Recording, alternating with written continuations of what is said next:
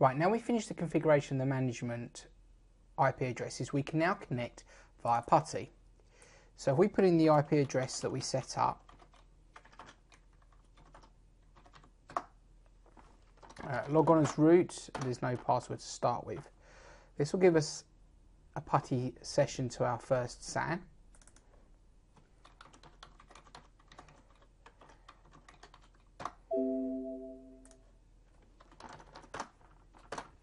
And this gives us a PuTTY session to our second SAN.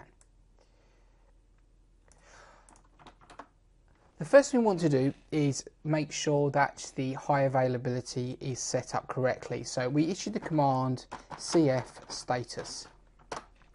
And this lets us know that there is no failover enabled at the moment, but there is a connection between the two physical SANs. And if we do the same on the second SAN, we will see the same setup.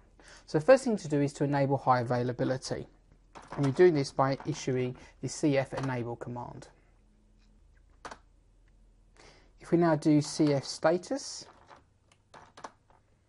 we can see that the controller failover is configured. And if we do the same one here, we see the failover is enabled there. Now that we've successfully set up the high availability, we have a good opportunity to test how the takeover and give back, give back functionality works.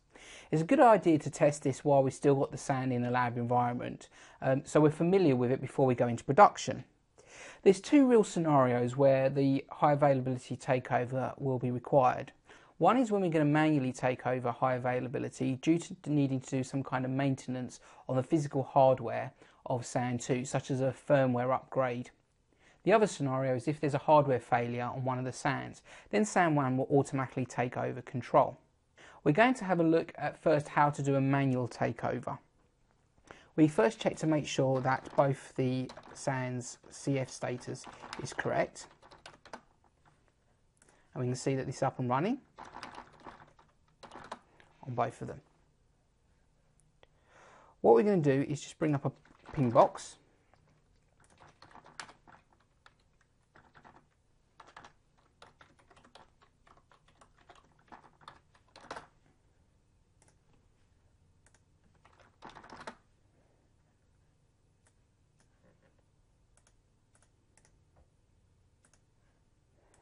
another command prompt.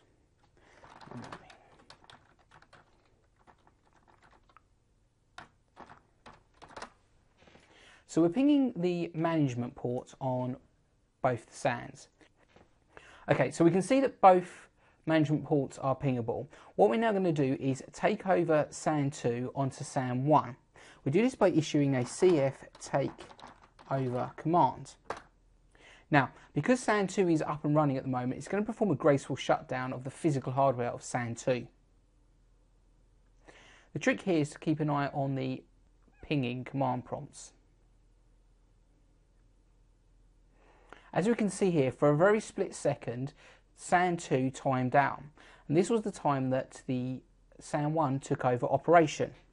Now, if we look at SAN1, we can now see that it indicates it's taken over control of SAN1 by the notation of takeover. We can actually perform any kind of management duties or command prompts to SAN2 by simply typing the word partner.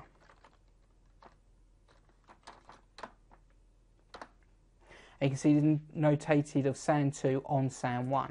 Now if we issue any kind of aggregate or show disk kind of commands, this is as though we were actually sitting at SAN2. At this point, we can perform our maintenance jobs on SAN2, knowing that SAN1 is serving the data from both SAN1 and SAN2. This will increase the CPU activity on SAN1, is having to process the traffic for SAN1 and SAN2. Also, there is the possibility that we could overload our 10 gigabit connection and that's why it's important to manage the maintenance processes of uh, the takeovers in times where there's lower activity on the SAN. Now that we've finished our maintenance task we need to give back control to SAN2. We simply issue a cf give back command. Now sometimes it does not allow us to give back straight away and we have to issue the command twice. Mistake here. I'm trying to give back while I'm, while I'm logged on as SAN2. I need to switch back to SAN1 first.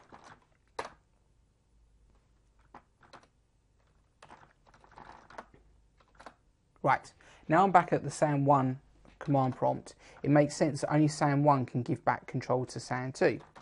So we type cf give back. Okay, and this will now give back control to SAN1. Again, if we watch here, we'll see we've got a short timeout, only for literally a couple of seconds, and now we can see that SAN2 has taken control back. If we have a look here, we can see we've lost that takeover command. If I just close the command prompts, we can see that this was shut down, but we restart a session.